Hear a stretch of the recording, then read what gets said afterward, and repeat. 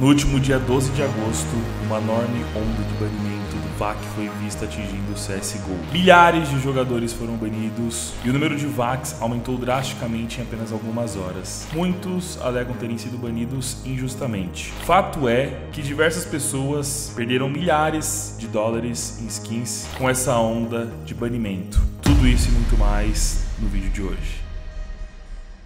É, rapaziada, acabou. Acabou o cupom DOG30, DOG31, 32. Acabou tudo, acabou. Porque agora é só o cupom DOG, parceiro. Sem limite de uso. Ou seja, você pode utilizar o cupom DOG, tudo maiúsculo, quantas vezes quiser, depositando por cartão de crédito, boleto, skins e outros meios. E o único problema é que não dá mais 25% de bônus. É. Aí eu fico chateado. Mentira, chateado caramba, mano. Ele dá 35% de bônus, 10% a mais aí, de graça. Então, depositando 100 dólares, por exemplo, você vai ganhar 35 dólares de graça, que dá pra abrir caixa pra caramba. Utilizem o cupom DOG e já comecem profitando, além de participarem dos sorteios que vem por aí. E agora vai ser só sorteio da hora, parceiro.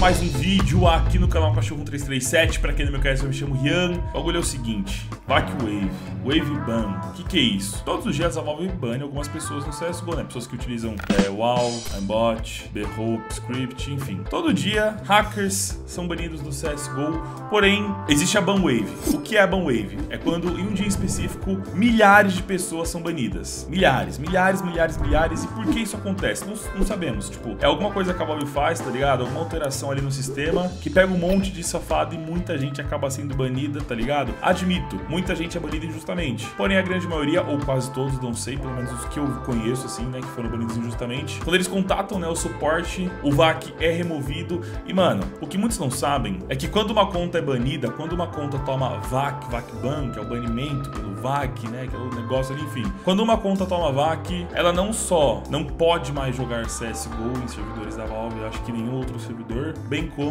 ela também não pode mais trocar na comunidade, não pode mais vender os itens nem nada, tá ligado? A conta dela é ó, Corte rápido. não cortada, é cortada, é travada. A conta dela é travada. Se ela não pode trocar, todos os itens que ela tem já não valem mais nada, porque ela não consegue trocar, não consegue vender, tá ligado? Não consegue dar pra ninguém, enfim. Os itens se tornam um nada. Aí dá pra fazer quando eu falo um nada, vocês tipo tiram eu de cena. Não sei.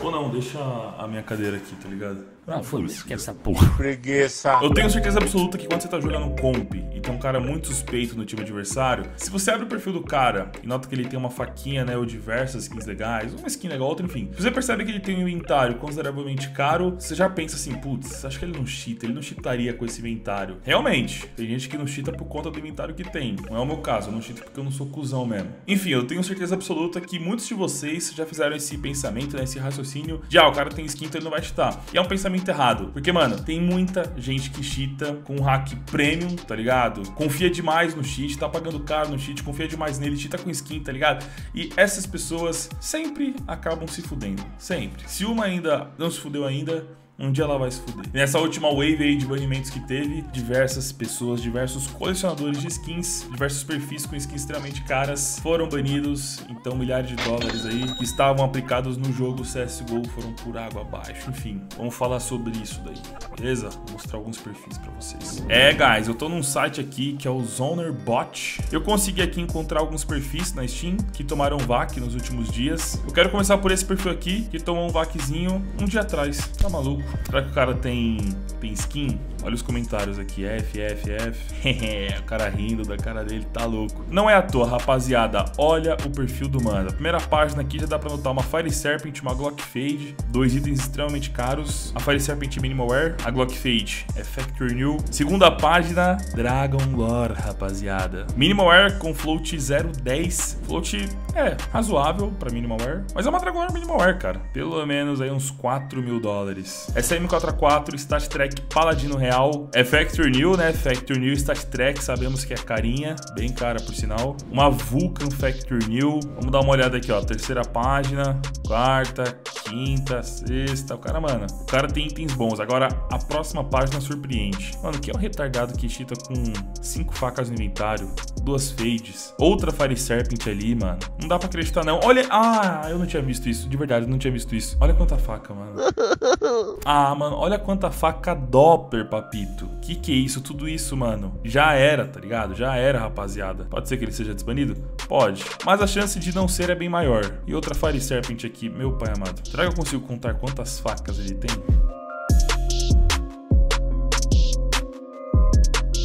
Mano, eu contei 66. Pode colocar uma margem de erro ainda assim é faca pra caramba. Segundo o site, o inventário dele vale em torno de 34 mil dólares. Convertendo para reais, cerca de 182 mil, mano. Quase, quase, quase 200 conto. Olha esse outro aqui. Outro mano que vem da Ásia. E o ban dele já tem 24 dias, viu? Eu acho que esse, mano, já não é mais desbanido. Ih, rapaz. Cinco páginas. Pela primeira página, vocês já notam aí que ele é um idiota, né? Pra ter tomado ban nessa conta. Aqui tem HAL, tem Fire Serpent, tem Glock Fade, tem faca Lore, tem faca Doppler, tem faca. Mano, Marble Fade, que que é isso? Só essa P90 já é cara pra caramba, custa uns 200 dólares. Segunda página, monte de item raro, um monte de faca. Cara, que dó, mano. Olha, Desert Eagle Blaze, Fire Serpent, Kill Confirmed. Que que é isso, mano? Ah, de verdade, tem que ser muito retardado. Tudo bem que ele pode ser um ricaço e tudo isso daqui não importar pra ele. Sim, tem essa possibilidade. Mas eu ainda acredito que é um daqueles caras que sempre cheatou achando que nunca seria pego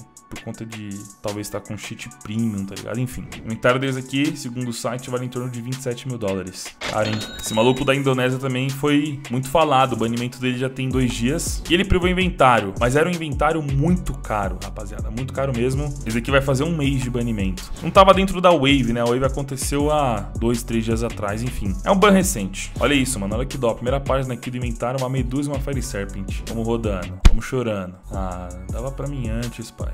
Tomava não. Olha quanta chave. Que que é isso, mano? Também encontrei na internet essas prints de um determinado perfil do Japão com diversas skins legais, mas estiva aí de cerca de 15 mil euros, né? Um valor, pô, muito alto. Lembrando que esses sites, né, que estimam valores, eles sempre erram muito para baixo, enfim. Só com essas imagens, podemos notar diversas skins extremamente caras, tá ligado? Tem Crimson Web, Gamma Doppler, Doppler, Marble Fade, Fade, Slaughter. Cê é louco, Fire Serpent, Poseidon. Encontrei essa print no Twitter, mas não reconheço o perfil. E esse outro aqui, que tem inventário avaliado em mais ou menos 20 mil euros. Já dá pra ver ali, rapaziada. Uma Fire Serpent Stat Track. É um item muito caro. Karambit Lore, M9 Lore. É, mano, muita faca. É muita faca. De verdade. Eu que me cuide. Mentira, não cheat. Será? Não, não cheato não, rapaziada. Olha o meu inventário, seu louco. Será? Não, tô brincando. Alguém, alguém vai levar a sério. Alguém vai levar a sério achar que eu realmente cheato. Enfim, guys, mandem pro meu tá furando. Rapaziada, é isso, mano. Vai que o Wave aconteceu, muita gente foi banida. Eu acho que isso é bom. Acho não, tenho certeza. É ótimo, tá ligado? Eu baixei Valorant recentemente, joguei um pouquinho, só de você ter a sensação de estar jogando no mundo ali onde... Não, não vou dizer que não existe hackers, mas dá pra comparar com o CS, né? Não dá pra comparar. Só de você jogar no mundo onde na teoria a chance de você encontrar um hacker é bem pequena, mano, tá ligado? Você já tem outra visão do jogo, você já curte muito mais, você já se estressa muito menos. Você começa a admirar o adversário que tá jogando muito e não passar raiva por conta dele, por talvez ele estar cheatando, tá ligado? Você só passa raiva com o time, enfim. E é isso aí, guys. Cuidado, não cheatem. Com skin ou sem skin, não cheatem. Não é legal, não faz bem, tá ligado? A parada é ridícula. Lembrando, rapaziada, que aqui no canal Cachorro 1337, todos os dias, dois vídeos novos, um às 14, outro às 19 horas. Se você curte um conteúdo de qualidade relacionado a CSGO, esse é o canal perfeito pra você. Então, ó, se inscreva, ative o sininho, passe aqui todos os dias, às 14 e 19 horas, para não perder nenhum vídeo. E é isso aí, manos. Obrigado pra quem assistiu até o final. Eu, Rio, vou ficando por aqui. Até um próximo vídeo no Cachorro 1337. Falou!